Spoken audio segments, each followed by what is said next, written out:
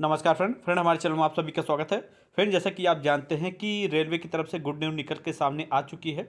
और ये good news friend आप लोग की भर्ती को लेकर है, जिसमें भर्ती को जो है बहुत ही तेज़ी से भरने के लिए पूरी प्रोसेस यहाँ पर जारी कर दी गई है।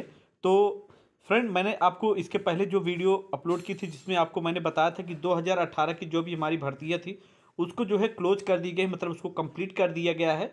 और अब हमारी नई भर्ती बहुत जल्द आएगी। तो ये आप देख सकते हैं, यहाँ पे लेटर आपके सामने सात तीन दो हज़ार तेईस का जारी किया गया है। और ये लेटर में जो है, आप लोग को साफ़ साफ़ बताया गया कि ये भर्ती को जो है, जल्द से जल्द जो है, आगे कंप्लीट किया जाए। मतलब जो है, नई भर्ती जल्द से जल्द जो है, भरी जाए, जिसमें आपकी जो है एल से लेकर और काफ़ी भर्तियाँ हैं, रेलवे की जो भी भर्तियाँ हैं, वो सारी भर्तियाँ जल्द से जल्द आपको देखने को अब मिल जाएँगी। अब ज़्यादा टाइम नहीं बचा हुआ है। जैसा कि मैंने पहले भी आपको बताया था तो ये हेडक्वार्टर्स ऑफ़िस देख सकते हैं।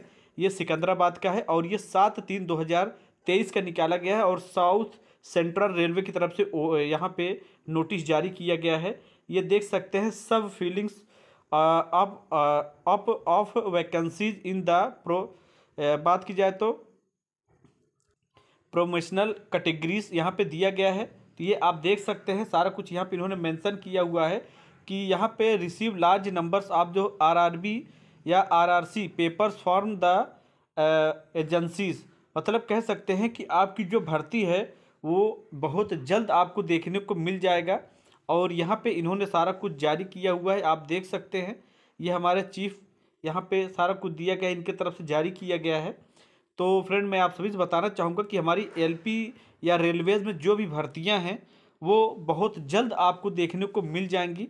और मैं आप सभी से मैं बताना चाहूँगा, अगर फ्रेंड आप लोग U P P C L T two की तैयारी कर रहे हैं तो आप लोग के लिए हमारे चैनल पे हैंड नोट्स तैयार किया गया है। नीचे लिंक दिया गया है, उसको ज़रूर डाउनलोड करिएगा।